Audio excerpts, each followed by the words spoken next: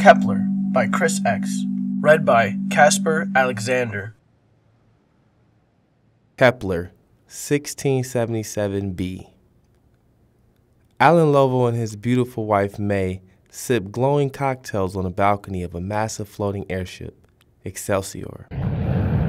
They bathe in the golden light of two bright yellow stars, enjoying their expensive week long getaway on an alien planet.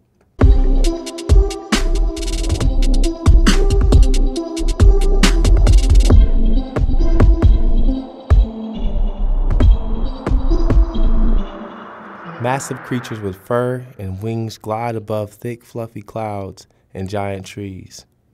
May finishes her drink and waves at one of the small aliens in a tuxedo. It slithers up and snatches her empty glass. It yips and shakes the cup at her. No, I don't need another one, thank you. She turns back to her husband. They're so strange looking. Like a furry octopus. Ew, no, they're cuter than that. Should we go gliding now, before the lines get too long? May excitedly grabs his hand and leads him away. Alan, unlike his wife, had not always been wealthy. He built his fortune designing aircrafts. For him, this life of luxury was new and he had every intention of living it to the fullest. Every expensive cocktail, every five star meal, and any tourist activity he could find. May, however, was raised in a family of politicians and business executives.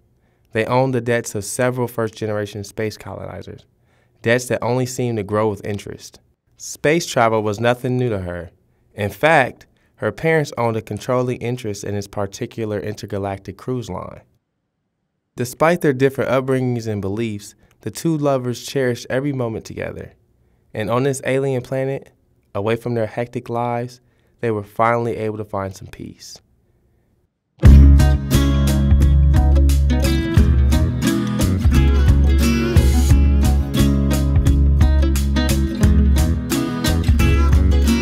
Hand in hand, they make their way through the ship's winding corridors.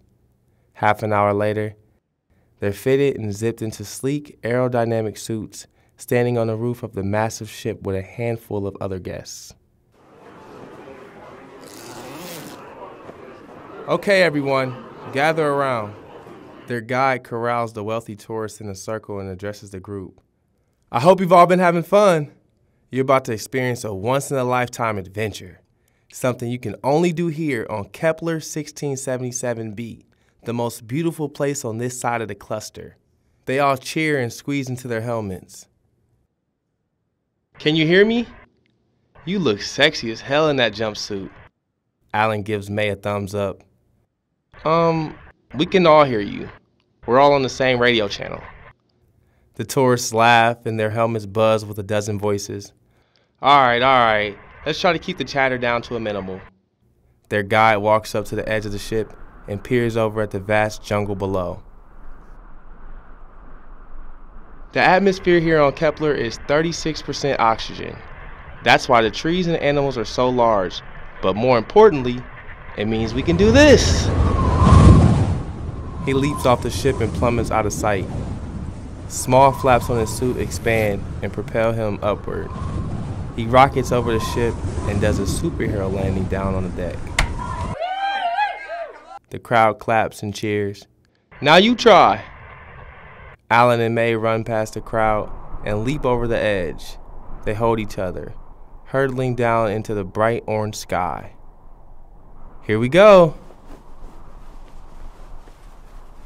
They extend their arms and let the wind launch them high above the oversized green forest.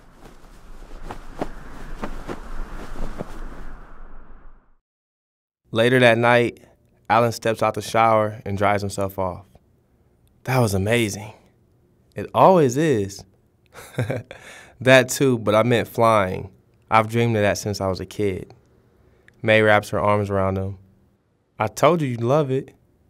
Let's go up to the pool so I can do a few laps before we go to sleep. Sounds good. I could use a nightcap. They get dressed and make their way back to the upper floors. The twin suns still shine high in the sky. It's still sunny. 24 hours of sunlight. That can't be good for us. May laughs. That's why you're not supposed to spend all day out here. She dives into the crystal clear water and does a few laps. Alan lovingly watches her body glide through the water for a bit before heading to the bar. He stares at the moving menus and then points at a blue bubbling cocktail. I'll take that one. The Oort Cloud, coming right up.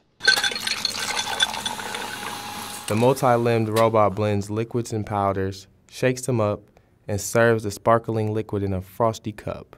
Is this safe to drink? Alan studies the neon bubbles. It's perfectly safe for human consumption. You're probably just programmed to say that. I am. A sudden murmur breaks out behind him, and he turns toward the commotion. Half of the rooftop deck is staring up at the rapidly shifting sky. One of the suns had almost doubled in size, its orange surface bubbling with a bright red. Hmm. Alan thought to himself. Maybe that just happens at night. He walks back to the pool and greets May, who is drying off. What's going on? She looks up at the sweltering air. Is this normal? I didn't see anything about this online. Well, it is an alien planet. It's eerie. The sky was not completely red. The smaller orange star, caught in the orbit of its stellar sibling, starts spinning faster, locked in the dance of death until the behemoth fireballs collide in an eruption of color and heat.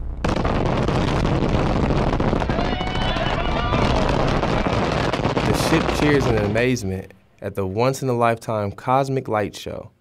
Every known color litters the sky. Their excitement quickly turns to terror as a smaller sun slowly disintegrates, devoured by its larger twin.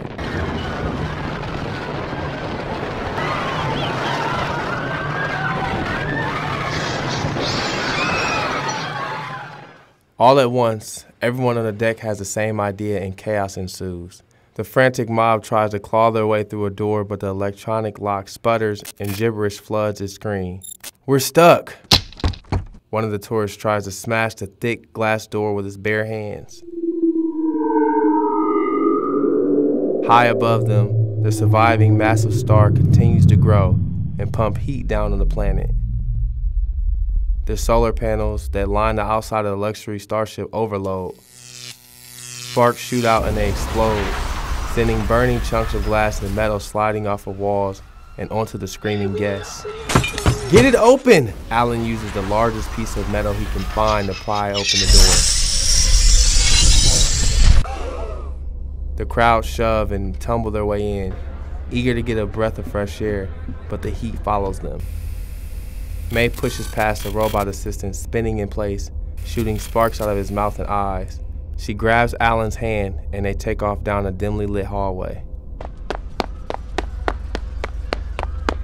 The mob of people behind them trample each other trying to escape the heat and find help. Finally, Alan spots a human crew member standing in a roundabout, directing traffic. What the hell is going on? Yeah, we want answers. Are we in danger? Settle down, everyone. We're experiencing a natural phenomenon. Please make your way to the escape pods and follow emergency protocols. This way. May pulls Alan's hand. What? I know where the escape pods are. May never flew without checking the aircraft's safety rating and emergency manual. Her family has several lawsuits against them for reckless endangerment due to their cheaply made aircrafts. They push past a slew of screaming families. Two more floors! May yells on their way up. Alan taps on his glitching wrist pad. I don't even know where we are. They rush past the ballroom, casino, garden, and a spa on their way to the back of the ship. Let us in! Several angry guests scream at the crew. They shove and point fingers, but they firmly hold their ground. We're sorry, but the escape pods are having some technical difficulties. This is bullshit! The crowd starts throwing anything they can at the crew's head, and a fistfight breaks out. Get out of the fucking way!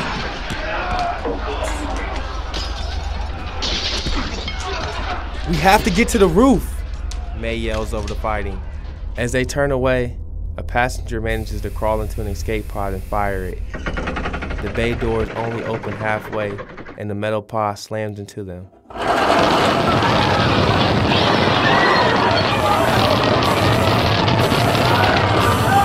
The explosion rocks the ship and spews flames onto the crowd. Fires break out on several floors and pieces of the already collapsing ship tumble into the jungle.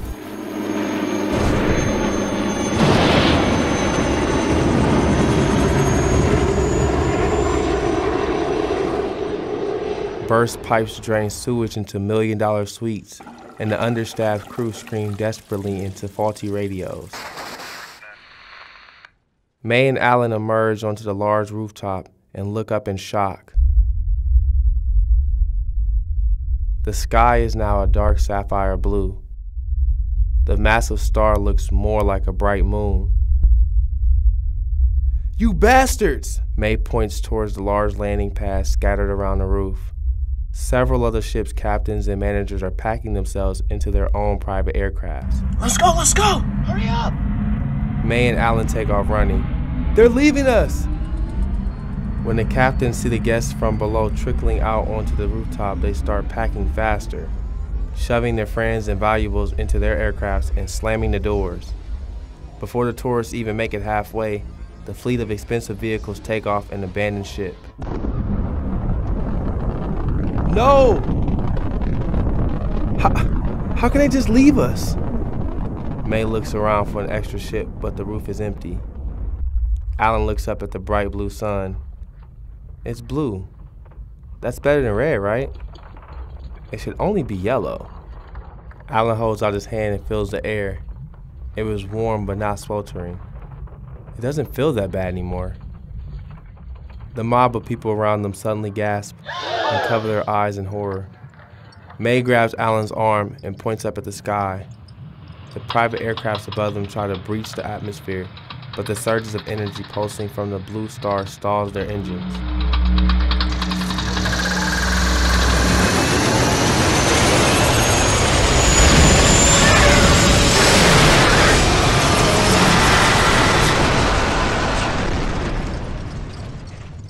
They spiral and smash into each other, raining down debris on the alien jungle.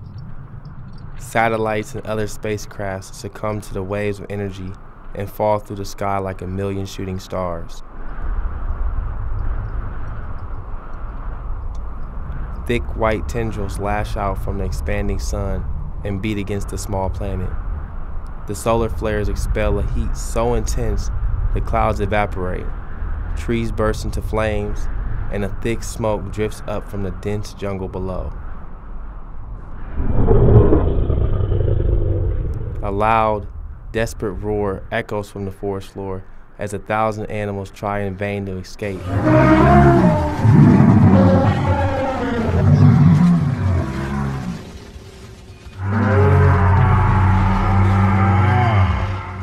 The roof of the Excelsior goes silent. They huddle close to one another terrified by the sounds of a dying planet. Finally, what sounds like thunder fills the air. Electricity crackles all around them, forming a storm of lightning and fire.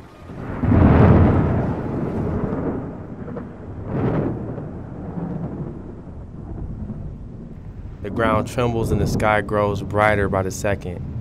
Alan pulls May close and looks into her eyes. I love you. I'm happy I met you. May looks up at the swelling star. They say we're all just stardust. Maybe we're returning to our natural state. So, what was all this? Were our whole lives just a fluke?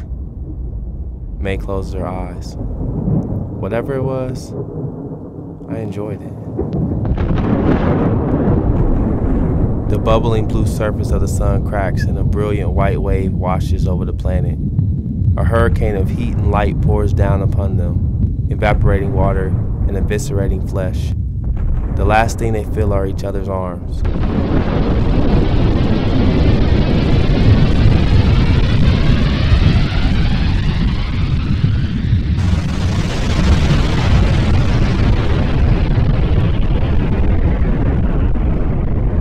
The death of the star is seen from millions of light years around. Kepler 1677b disintegrated, nothing but loose atoms in a field of dazzling color gold, silver, carbon, iron, and all the building blocks of the worlds we know, adrift in the cosmos. Soon to be life once more. The only thing that ever was, is, and will be stardust.